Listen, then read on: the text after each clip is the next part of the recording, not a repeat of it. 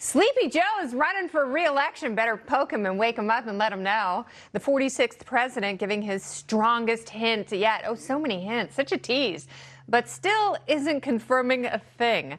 So with Donald Trump and other Republicans on the attack, why is the president still being so wishy-washy?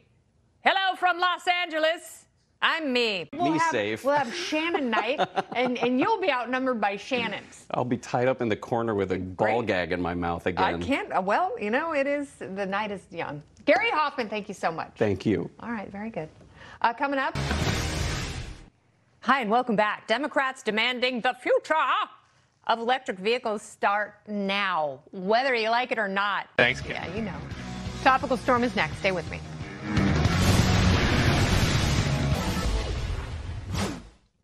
Hi there. NASA says the new James Webb Space Telescope has obtained the clearest pictures of Uranus. I just hope they watch that.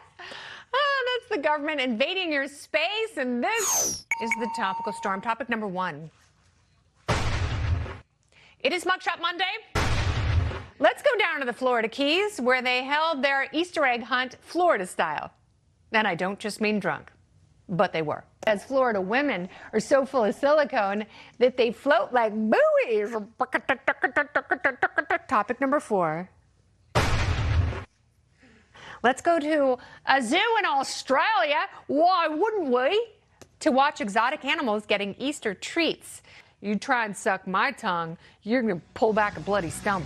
We'll be right back with Mouth Trumpet Monday. I've got requests. Twitter, hashtag Mouth Trumpet Monday. Bye.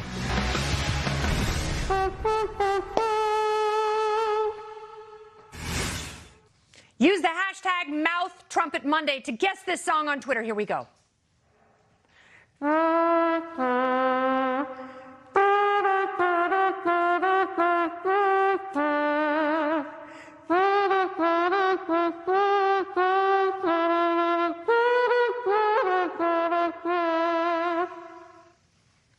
Thanks so much for watching the best hour of your day. Tomorrow night on the show, Jason Rantz, Dr. Michio Kaku, and Florida Republican Congressman Greg Steube. Make everyday Kennedy.